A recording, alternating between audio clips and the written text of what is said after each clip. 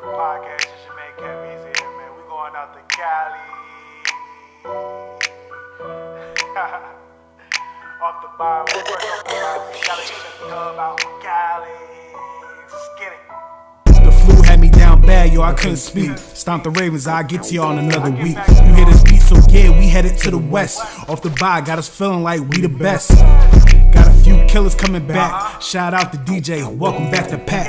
Fire Matt Canada, we standing on that. You get a chance in different sports where we ain't at. See the signs at the wrestling match, throw them out the window, splat, call a play from that. Him and Tomlin got a better bond. Hit Stafford so hard, he yelling out for Megatron. Show me vague was going walk away. I think you should now, cause no more glory days.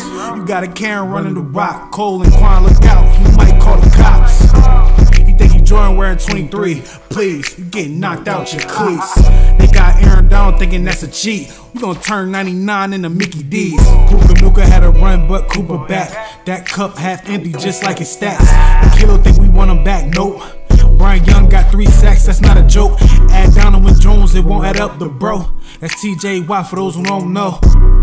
Yeah. They got eight sacks, by the way. You add those guys up. What is that?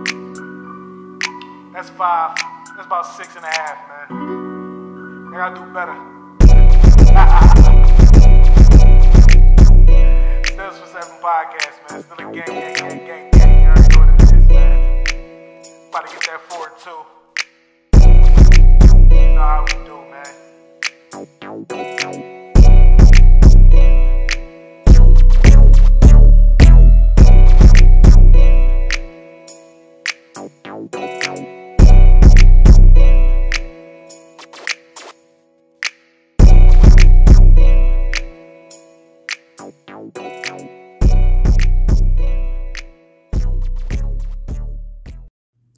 Thank you for watching. Make sure you subscribe, hit that notification button to stay up to date for Steelers for 7 podcast content.